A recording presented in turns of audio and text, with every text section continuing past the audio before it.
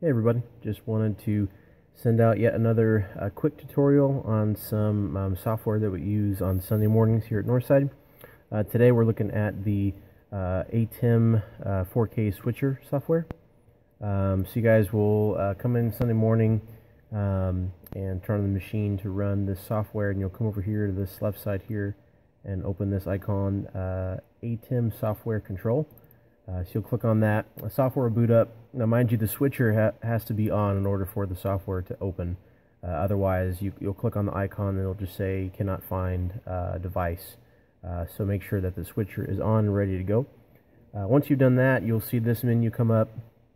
Um, and you also will see on your side screen uh, the preview screen, which has all of our inputs, outputs. they're available for you to view and reference as you're running the switcher on uh, during a service. Um, but on the software side, uh, I want to just point out a few things uh, to you guys before we get dive into the details here. Um, you might notice, uh, especially uh, if you if we have a power surge, which occasionally happens around here on campus, uh, that sometimes the settings aren't um, are the way that they usually are. if that ever happens, go up here to the top uh, left and click on File. Uh, and you'll see some options here. At the very top, you'll see a button called Restore. Uh, what this does is the software makes a save date. Uh, basically, we can save all the settings and save it to a time and date, uh, and then we can recall it later. So at this time, we've got um, a date saved at February 12th of this year that you can bring up and open, and so then you'll click on that uh, and it'll come up with this menu and just basically it's just asking okay what all do you want to recall? Uh, uh, and mainly you want to just make sure that everything is checked that is available to be checked. You, you'll see that some of these are grayed out so you can't select them. But just make sure that everything's checked ready to go and you'll hit restore. Uh, once you've done that it will then bring all the settings back uh, the way they should be and you guys will be able to run for that Sunday no problems. Um, so first off, as uh, after we've done that, then we can kind of get into running the uh, software. You guys will already notice that you have a column here for your live uh, program section. You have a column here below for the preview section. Um, so that's you can use that um, back and forth uh, to get ready to make a call or, or to, to show a camera or a slide. Uh, you can use the preview uh, for exactly what it's called, a preview. Uh, so say you, you want to get ready to view a camera or view a slide, but you're not ready to go live with it yet. So you'll select that under the preview window and it'll come up uh, there in the preview section um, on the on the screen. Um, but also, uh, so then, so same thing here. If you're ready to go live, you can then just do hard cuts, what they like to call, um, to that selection there. So that's what the difference is there in those two columns. Um, you also have selections here for different um, uh, color selections, so like bars, black. Um, we don't use that often in the service, so don't worry about those too much. Um, the next couple things to look at here are these columns here. Uh, so here's your transition style. Uh, we primarily use mix um, here at Northside, uh, so you know don't really need to, to use any of these at this point. Just use the mix for our, our transition style. Uh, the other button to, that you use a lot is this auto button.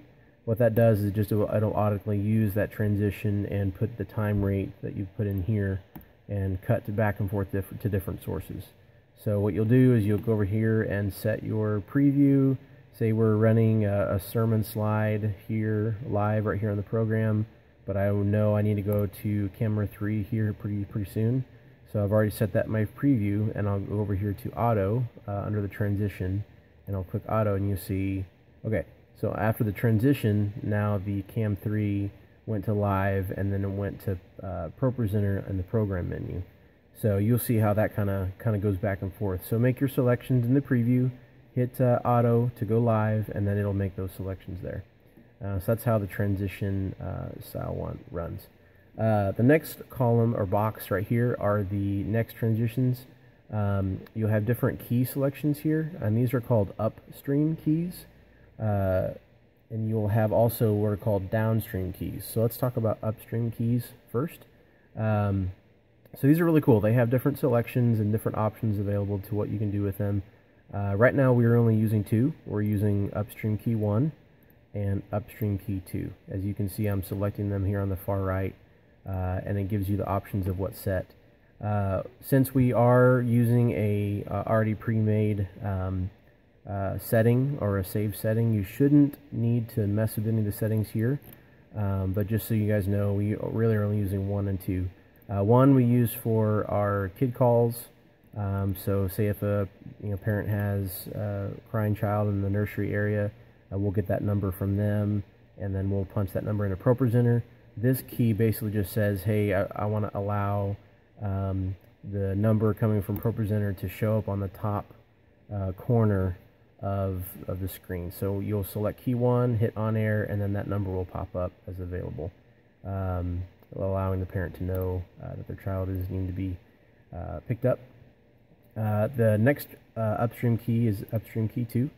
Uh, we use this one primarily for uh, lower thirds during worship. Um, so as you guys are running cameras live, say so we already have camera three up on the screens uh, but we want to run lyrics over top of each uh, camera shot. That is under the upstream key 2. So you'll have uh, the key 2 uh, highlighted and you'll have it on air. And so what that'll do is that'll put over overlay the lyrics for the songs that we're singing over top the camera shot. Um, so that's what that one does. So key 2 on air.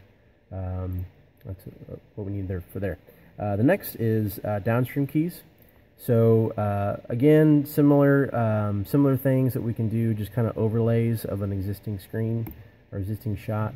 Uh, right now, downstream key one is coming off of a media player. So the media player, the software is really cool. It has a uh, built-in media player that we can use to select.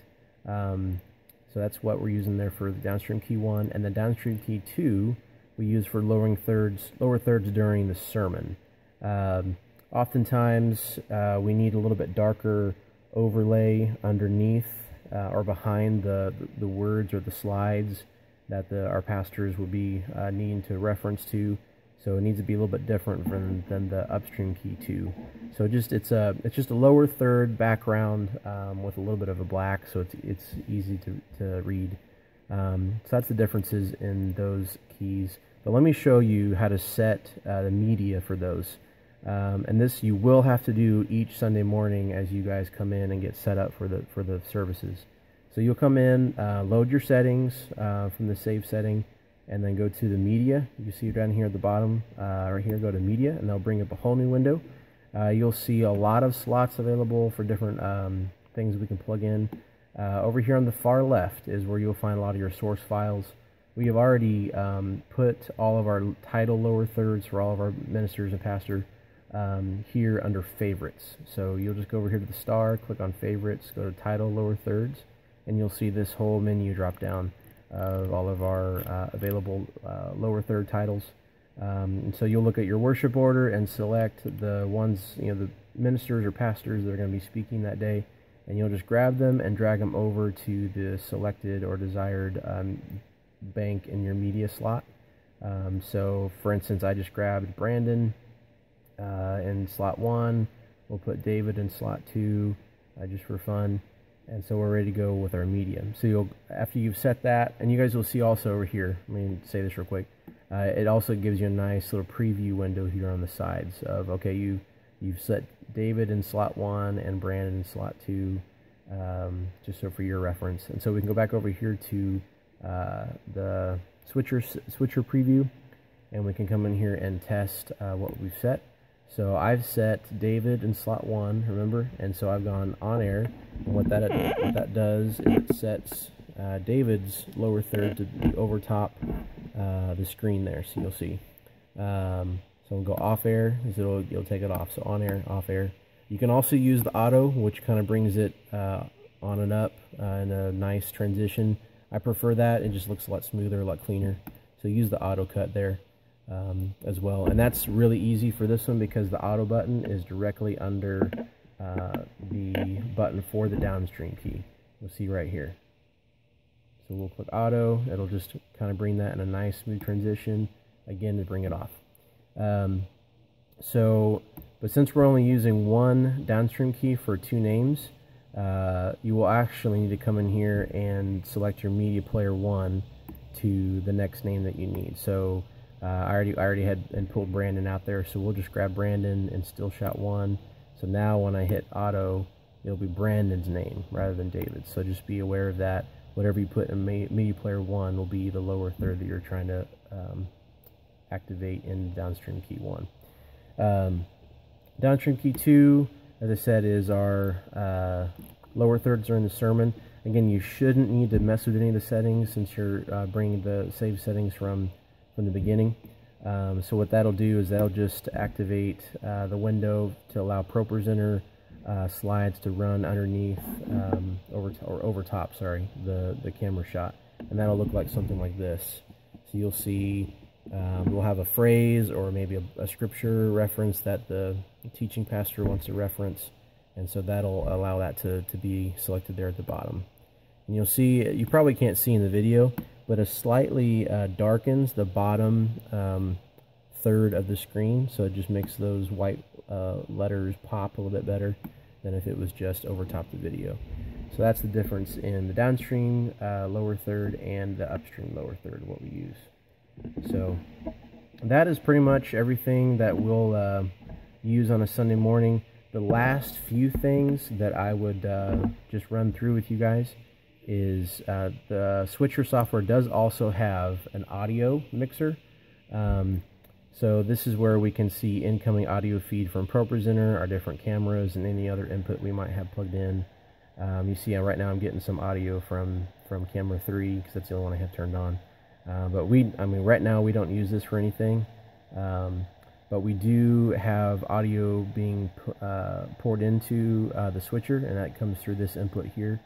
So on occasion, sometimes we've had, if we have to make tweaks, uh, it can overdrive the channel. And so you might occasionally take a look at the audio and make sure it's just not distorting if it's not going into the red because um, we don't want that because that's when we go to record, uh, which I'll show you guys in a second. When we go to record, then it'll make the audio all distorted and, and just won't sound good at all. Um, so just be you know periodically checking that um, from time to time as you guys run the switcher. Uh, so that brings us over to the capture. So not only does it have all these features uh, with different keys and different transitions, we also, also can capture uh, a, a service right here off the switcher software. So what you'll do is you'll go over here and click uh, capture. Um, it'll bring up this little window here. Uh, you'll click on the lock button and so that'll allow it to be ready to be to be queued to record.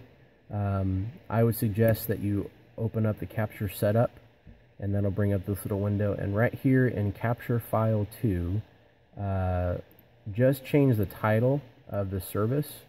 So we've just did uh, you know February 19th was last Sunday. So then I would come in here to get ready for this coming Sunday February uh, from the 19th to the 26th and I'll probably list if it, if it was first service or second service or third service or whatever we're whatever we're wanting to capture and I would give it that name so that I can I know I can go back and refer to it later. So then I would hit select, and then we're ready to go. And then uh, once I'm ready to record, I just hit the record button, and it'll take off, and you'll see it starting to track. Um, there have been a very few occasions where you'll see dropped frame notification.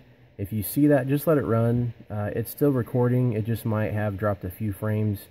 Um, don't ever stop recording. If it's still going, don't ever stop because then that there's really not much we can fix if if the recording has been stopped. Um, so just keep on recording. Now, if it's if it records and crashes, uh, obviously, then it, will stop recording and just reopen the software and, and run from there. Um, but uh, shouldn't need to do anything more than that. So that is the capture, and that is how we record. Um, one last thing is the aux, uh, auxes. So we have the ATEM uh, 4K.